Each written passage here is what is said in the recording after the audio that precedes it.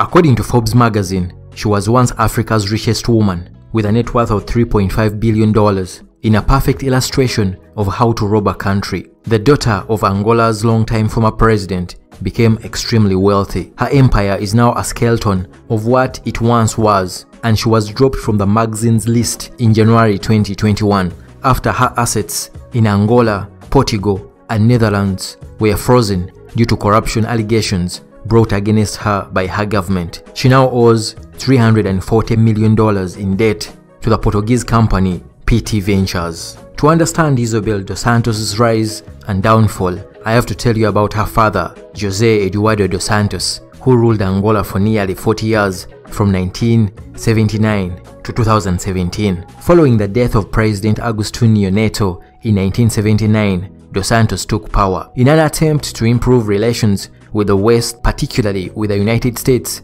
which had refused to recognize his government, he abandoned Marxist and Leninism. The changes did not appease the opposition group, the National Union for Total Independence of Angola, UNITA, which increased its attacks. Dos Santos signed a peace agreement with UNITA and agreed to multi-party elections in 1991. However, after he defeated Savimbi in the polls in 1992, UNITA resumed fighting, which lasted until Savimbi's death in 2002. Dos Santos remained president into the 2000s because elections scheduled for 1997 had been postponed indefinitely due to the conflict. Dos Santos announced in 2017 that parliamentary elections would be held in September 2008, followed by presidential elections in 2009. His party, MPLA, won the 2008 parliamentary elections. The presidential election scheduled for 2009 was postponed. The following year, a new constitution scrapped direct presidential election, instead requiring the president to be appointed by the leader of the party with the largest share of the vote in parliamentary election.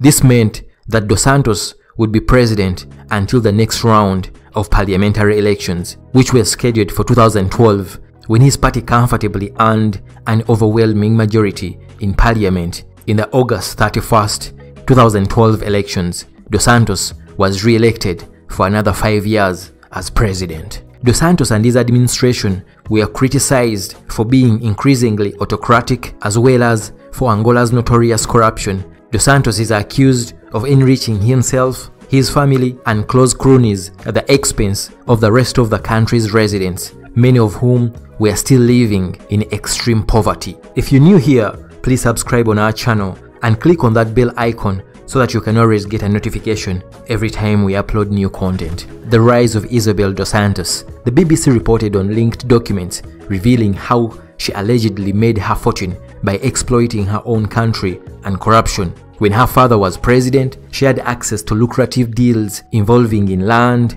oil, diamond, and telecommunications. The documents revealed how she and her husband were permitted to purchase valuable state assets in a series of suspicious deals. In the early 90s, Isabel dos Santos began working as a project manager engineer for Urbana 2000, a subsidiary of Jembas Group that had won a contract to clean and disinfect the city. She then established a tracking company. The widespread adoption of walkie-talkie technology paved the way for a subsequent venture into telecommunications. Isabel dos Santos began a series of business acquisitions in the early 2000s. She built an empire in Angola and Portugal that includes banking, diamonds, oil, telecoms, real estate, engineering, and supermarkets. Some of Isabel dos Santos' major holdings include Trans-Africa Investment Services, founded together with her mother for the diamond business, Unitel International Holdings, based in Amsterdam, a company vehicle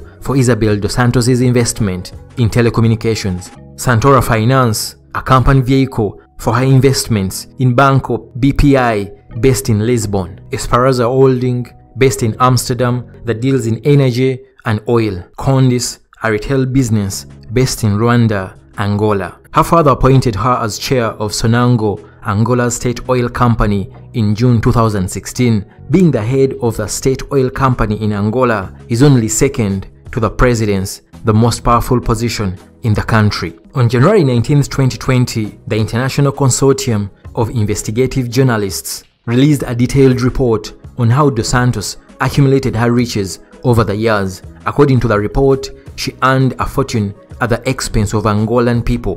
Based on the evidence provided by Corruption Watchdog, the platform to protect whistleblowers in Africa, the report was called Luanda Leaks. The fall of Isabel dos Santos. On August 23, 2017, Joao Lourenco was elected president of Angola and he sacked Isabel dos Santos from Sonangol, Angola's state-owned oil company. In the following months, the new president, Joao Lourenco, decided to address corruption, which is a legacy of his predecessor, Jose Eduardo dos Santos, who led the oil-rich South African country for 38 years. On December 30th, 2019, a court in Angola ordered the freezing of Isabel dos Santos' personal bank accounts and those of her business partners. According to the Attorney General's office, they struck deals with the Angolan state, causing the country to lose $1.4 billion.